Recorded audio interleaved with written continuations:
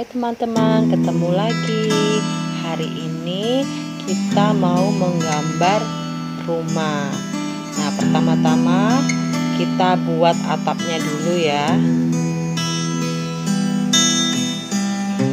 Gambarnya jangan kecil ya, yang besar ya. Kemudian tarik garis ke bawah, serong ya, agak serong. Kemudian ditutup. Setelah itu kita buat pintunya posisinya di tengah. Tarik garis nempel di bawah ya nempel. Kemudian kita buat jendela bagian yang atas. Kemudian jendela bagian samping kanan dan samping kiri.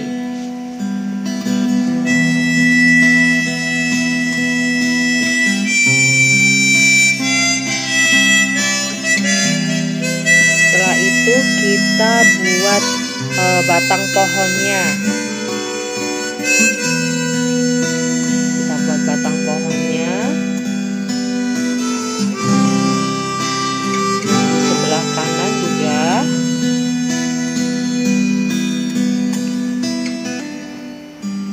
Setelah itu ditutup. Kemudian kita buat daunnya. Oh ya bagian yang bawah kita tutup dulu ya kemudian kita buat daunnya. Nah daunnya yang agak besar ya yang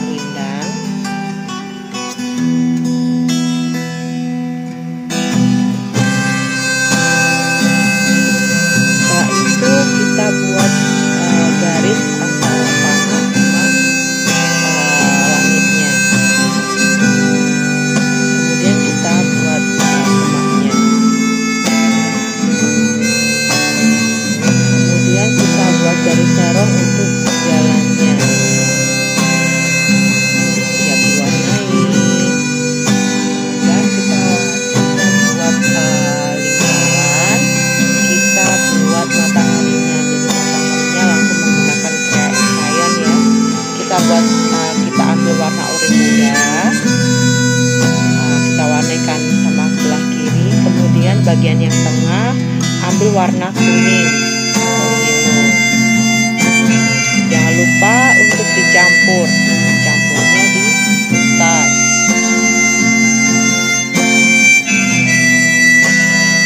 Setelah itu ambil warna pink. Kita buat uh, mengikuti uh, bentuknya ya. Jadi kita garis mengikuti bentuk matahari. Kemudian kita beri tanda. Jadi paling dekat dengan matahari warna pink kemudian uh, atau pink tua kemudian warna ungu.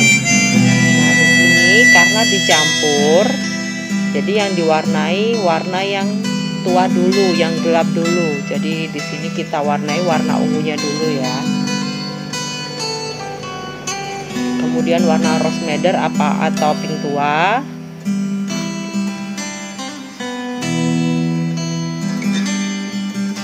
mencampur warnanya diputar-putar. Setelah itu warna pink muda. Nah yang dekat mataharinya sisakan sedikit itu nanti dipakai untuk warna kuning.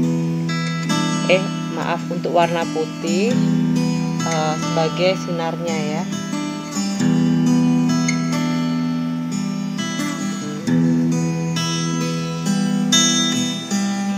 warna putihnya dicampur sama warna pink. Jangan dicampur sama gambar mataharinya tapi mencampur warnanya sama warna pink.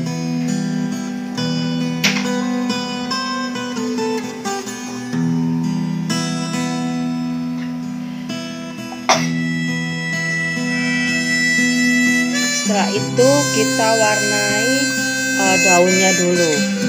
Nah warna daunnya dulu kita beri warna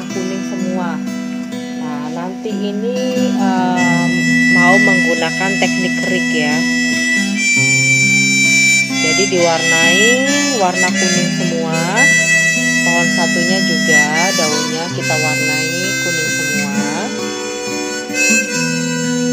Ambil warna kuningnya yang kuning tua ya supaya nanti kalau dikerik itu uh, warna kuningnya terlihat. Dan jangan ada terlihat putih-putihnya warnanya penuh. Kalau nanti banyak putih-putihnya ditumpuk tidak kelihatan nanti uh, dalamnya nanti warna dalamnya. Uh, untuk tanah untuk tanahnya itu juga diwarnai kuning semua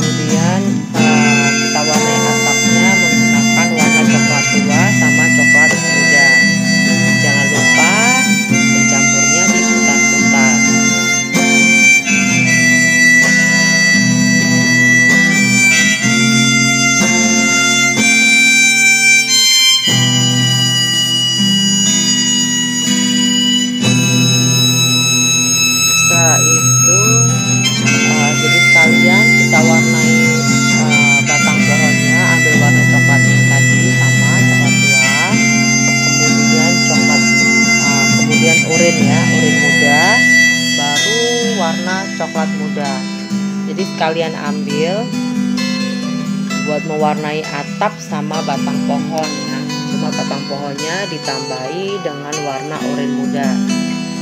Jadi coklat tua oranye muda sama coklat muda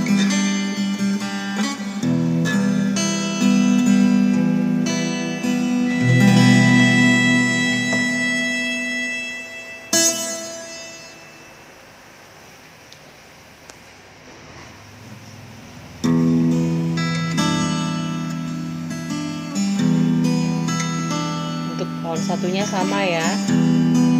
Kemudian kita ambil warna merah kita warnai uh, temboknya tembok rumahnya.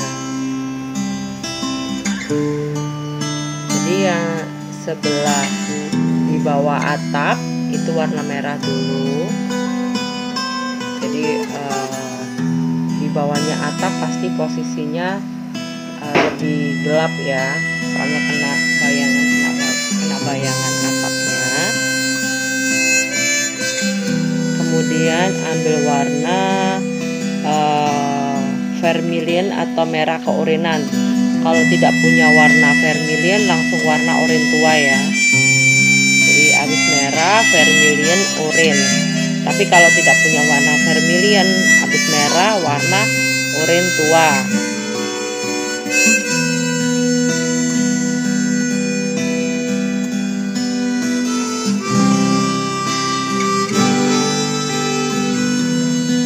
kemudian yang terakhir dicampur lagi diputar-putar menggunakan warna oranye muda.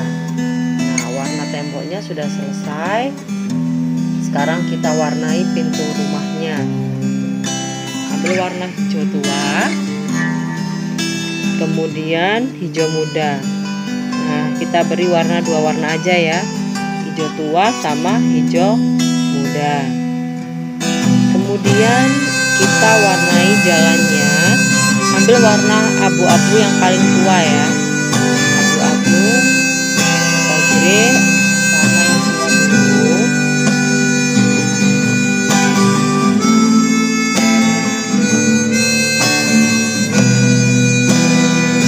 Atau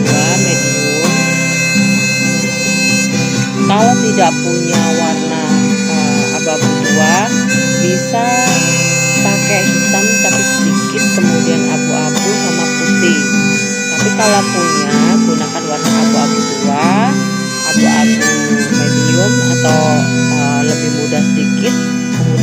abu-abu yang paling mudah di posisi di tengah.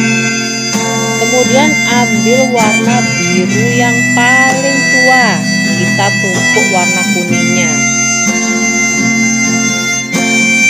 Hijau ya kita ambil warna hijau yang paling tua. Atau warna blue green boleh jadi hijau kebiruan. Nah, ambil warna hijau yang paling tua atau boleh blue green itu hijau kebiruan. Nah, kita warnai daunnya ditumpuk jangan terlihat putihnya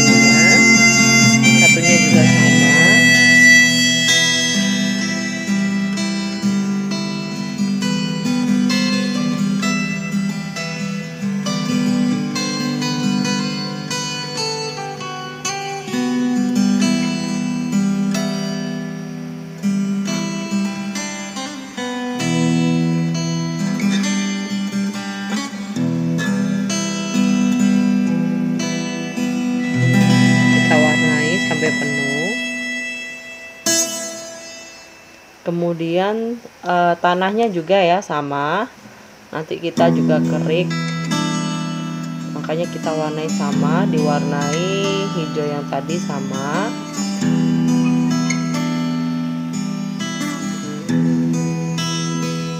Sampai penuh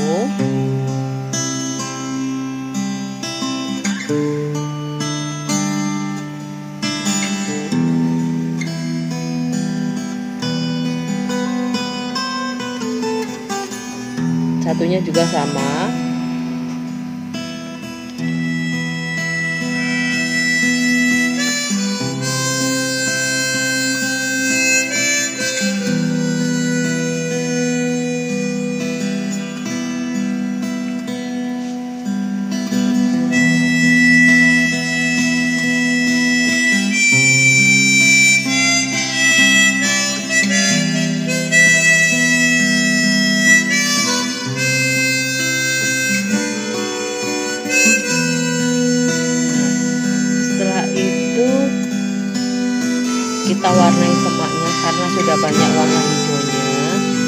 kita gunakan warna oranye muda sama kuning ya untuk semaknya karena kalau hijau lagi nanti tidak uh, kurang terlihat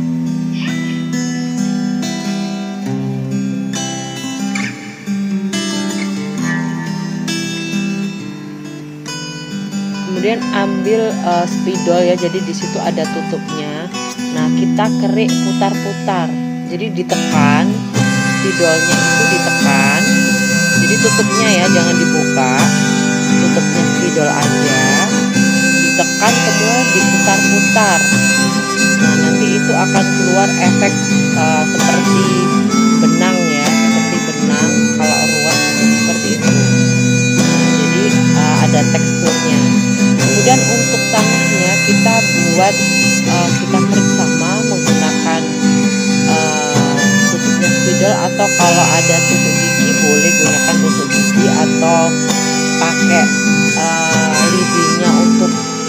juga bisa ya tutup sate kalau tidak punya pakai spidol aja tutupnya bisa. Jadi seperti punyanya seperti saya menggunakan tutupnya atau bawahnya spidol.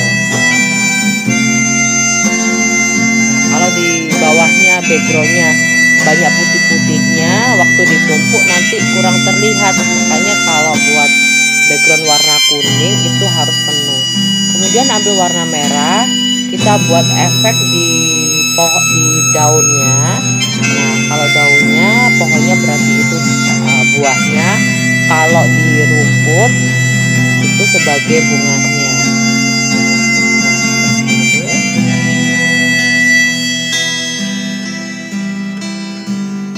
Kemudian ambil warna merah kita buat garis-garis itu seperti efek ya jadi kita tarik dari bawah ke atas.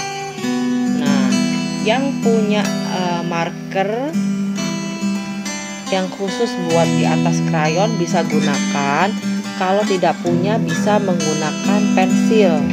Jadi kita tebali lagi supaya uh, objeknya lebih terlihat ya. Kalau kita tidak tebali itu garis-garisnya sudah kena ketumpuk ketumpuk krayon jadi kurang terlihat. Makanya gunakan uh, spidol yang khusus bukan spidol ya, biasa ya yang buat gambar beda. Jadi spidol khusus untuk di atas krayon atau gunakan pensil 2B atau pensil kaca atau sejenisnya.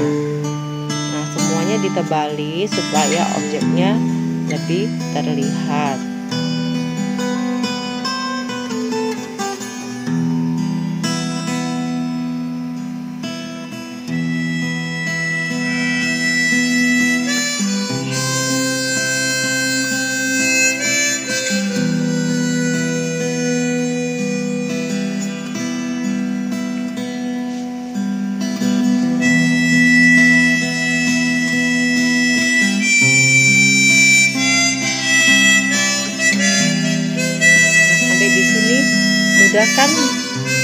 bisa pasti teman-teman bisa mengikutinya. Nah kita buat efek uh, bebatuan ya di jalannya. Kalau tidak punya gunakan uh, crayon warna hitam.